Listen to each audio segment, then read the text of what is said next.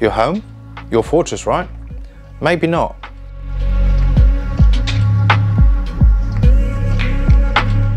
Well, in this video, we're going to look at some basic things you can do to improve your home security and hopefully prevent you becoming a statistic like one of the 400,000 homes that was burgled last year. Now, there are people who proactively take steps to fortify their home, but there is also a huge percentage of people who only consider improving home security after an event has occurred, and by then the psychological trauma has been inflicted. 84% of victims of domestic burglary reported some degree of emotional impact. So the aim is to make your house less desirable than your neighbours by making it a harder target.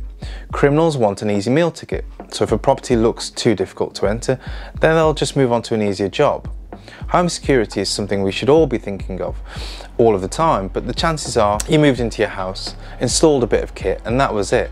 Some of you may be in rented accommodation and therefore reliant on the landlord to sort stuff out. You may also be in some denial about this even happening to you because one, you're a good person, two, you may also feel safer because you live in a nice area. But neither one of those reasons will provide you with any immunity. And being unprepared is what the criminal is banking on. Crime, particularly domestic burglary, has reduced somewhat during COVID, but the criminal element still exists and the emergency services are stretched even more than they ever have been, which means there's less people to watch them and they know it. So the onus is on you to protect you and yours. Okay, so where do we start? Bearing in mind the key objectives are one, to dissuade the criminal from entering, two, prevent entry or at least slow it down before help can arrive, three, ultimately protect your home and family. So first, I suggest you investigate the current crime statistics in your area. Here in the UK, you can go to police.uk and check out your postcode activity. This will at least give you a baseline to work from and some insights as to what's going on nearby.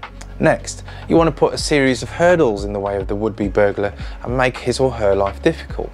A lot of people in this sector talk about an approach called the rings of security, light layers of protection that you wrap around yourself. So the biggest ring that you have or around your house is the outside perimeter. And this can include your fence, gates, dogs, if you have them, lighting and signage. The next smaller ring or layer of protection would be points of entry. So we're talking about doors, garage doors and windows.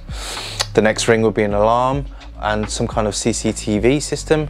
The next ring might be an internal camera system or communications. And finally, the last ring would be you and a weapon of some sort. Now, obviously that's one that complies with UK law and is used out of necessity and to a reasonable degree. Particularly in other countries, a lot of people make the assumption that the weapon is enough. Personally, I feel that's a little misguided on a couple of levels. One being, have you actually trained with the weapon under replicated conditions and scenarios? Do you actually possess the right mindset to actually utilize the weapon? And could you cope with the emotional and physical fallout after it? Secondly, why would you allow somebody to get in that close without putting any preventative measures in place?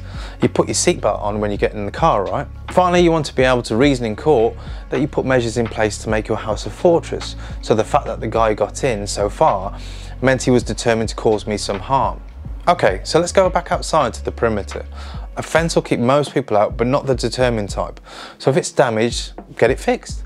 If you've got gates and can padlock them shut before dusk, do it. Also, if the padlock is broken, don't just close it for show, replace it and maintain it.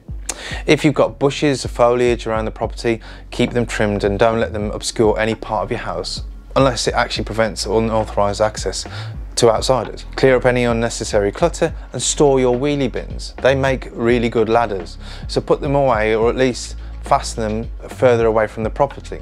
Good outside lighting is a must. So use a mixture of permanent and triggered lights. Remember to have triggered lights for approaches to the property and permanent lights on entries. Doesn't matter if it upsets your neighbours as it serves a purpose for them too. Dogs, as always, are useful as a deterrent if you have one, but a few points about whether you should display a beware of the dog sign. In my opinion, if you don't have a dog, then fine, but if you have a dog, forget it. Personally, I prefer to keep one, the element of surprise, but also displaying the notice could be seen as an admission of liability, i.e. it will be assumed that you had prior knowledge that your dog was dangerous and therefore could inflict injury. I know, ridiculous, right? Surprisingly, the favoured approach was the front of the property, with doors and windows being the key points of entry. So here's some simple tips for doors. Keep them locked and don't leave the keys in or visible. Add deadbolts and if possible, switch out the screws in the strike plate for longer ones or opt for a larger strike plate size. In terms of garage doors, firstly make sure that they're connected to the existing alarm system and don't leave them open and remember to deadlock or at least add an additional deadbolt if not used often. If you have one with a remote opener, make sure you don't leave the remote in the car overnight or for long periods of time.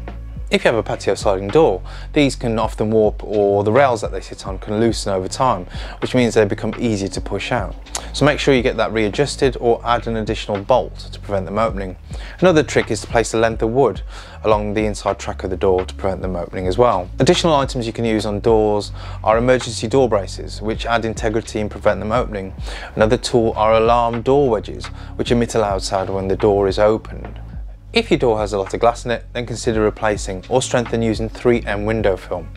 Check if your window locks work, or you can add a cable window restrictor, so this is useful when you have small children.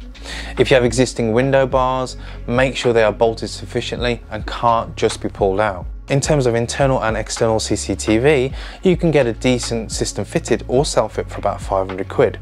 Even dummy cameras will make people think twice. If that seems daunting to you, then get them professionally fitted. But remember, cameras will generally only help after the fact. For something more responsive, I know as a film in this, ADT offer a installation and monitoring service for a reasonable monthly subscription. All right. As always, it will come down to what best fits you and your property and also your budget. So these are just my own thoughts and there is plenty of good information out there and I would always recommend you consult a reputable security firm should your budget allow it. I hope you found it useful. Take care of yours and stay safe.